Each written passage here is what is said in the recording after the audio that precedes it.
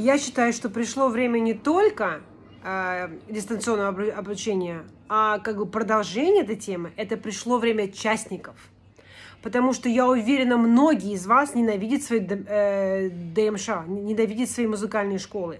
Начальство, те правила, по которым тех минимум, там какие-то рамки, в которых душатся, душатся дети, они не справляются и их выкидывают как мусор. В первый год, второй год выкидывают, не сдают экзамены, даже вступительные их выкидывают. Никого выкидывать нельзя, никого. Кто-то немножко медленнее, кто-то немножко быстрее, а потом где-нибудь там они выровняются там через 7 лет. Дайте всем возможность учиться. Кто из вас сейчас скажет, а, да, кстати, Хорошая мысль. Давайте будем писать письма. Помните, почтовые э, эти марочки, пишем письмо, через три недели человек получает, и не, не, не факт, что получает. Зачем писать имейлы? Зачем писать сообщения? Вот эти вот, э, вот человек пишет друг другу сообщение в WhatsApp. Пиши письмо. Давайте опять ручкой писать. Кто из вас это хочет делать? Вот даже смешно, если бы так э, сказали, вы знаете, лучше писать ручкой. Вот пока ручка там вот так пишешь, там три километра, этот, ручка уже там вся зажалась, да? Нет, тут главное как пальчик держать, вот так нужно. Да я в Америке чуть ли не вот так вот держит, и так пишут красиво. Как угодно держи ручку. Хоть носом, хоть нос вставляй пиши. Понимаете, вы, вы, вы, вы вообще просто, я просто поражаюсь. Телефоном пользуется, с мамой вы разговариваете, дорогая мамочка, ты с ней нормально говоришь, а с учеником близости нету. Маму ты не нюхаешь, не трогаешь, там она может быть в другом городе, а ученика нужно обязательно потрогать. Ну как же не потрогать человека? Понимаете, вы смотрите вперед. Сейчас мы можем бросить тех детей, с которыми у нас не сложились отношения. Зачем мучить друг друга? Не хочет у вас человек заниматься, а вы вот, а ну, давай еще придешь, еще там болван, не выучил. Возьмите другого человека. Пусть этот ребенок уйдет туда, где ему нравится. Мы не все друг другу подходим. Понимаете, можно убрать из, из списка своих учеников те, которые нам не нужны. Плохо себя ведут, борзеют, я не знаю, учи... особенно родители. Родители бывают вообще как-то ведут себя там. Всех отрезаем, как бы вот я, вот моя линия, и к ней приближаются те магнитики, которые ваши магнитики. Эти люди пойдут к тем магнитикам, которые их не магнитики, понимаете? У вас появится огромный выбор. Зачем в этой маленькой... Вот мой ученик приходит ко мне через дорогу. Вы родились, чтобы ваша жизнь прошла только через дорогу. Вот это вот вся ваша жизнь, там 70 лет, только через дорогу. А мой мужчина тоже через дорогу живет. И дочка через дорогу, и внучка через дорогу. И вот так вот через дорогу мы будем жить. Угу, угу, угу. Вот такое узенькое. И кладбище тоже через дорогу. И кладбище.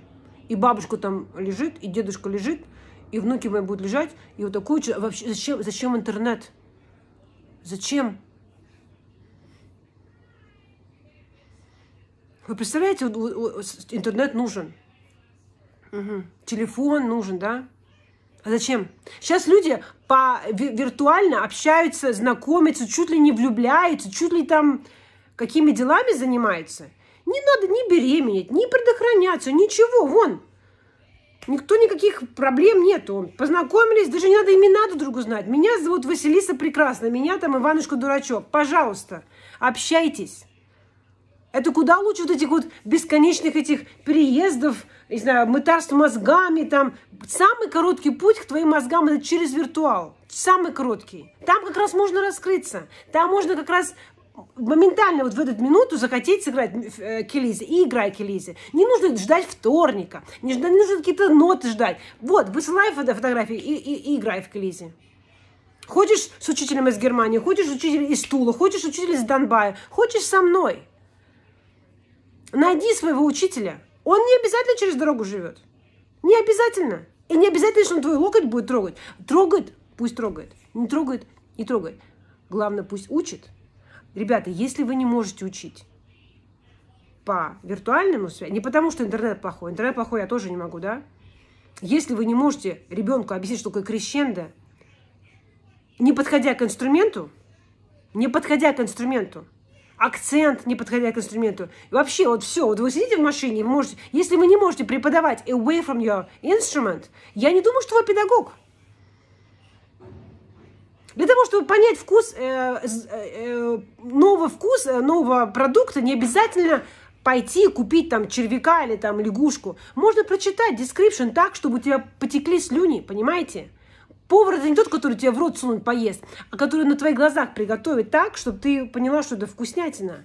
Вы должны так делать, что вам не нужно было ни играть, ни прикасаться, понимаете? Вы должны... У вас же такой опыт, вы же, вы же прошли через столько всего. Вы, наверное, берете самое лучшее, самое плохое убираете и дальше развиваетесь, развиваетесь. Как, как мясорубка, нужно постоянно в себе что-то менять.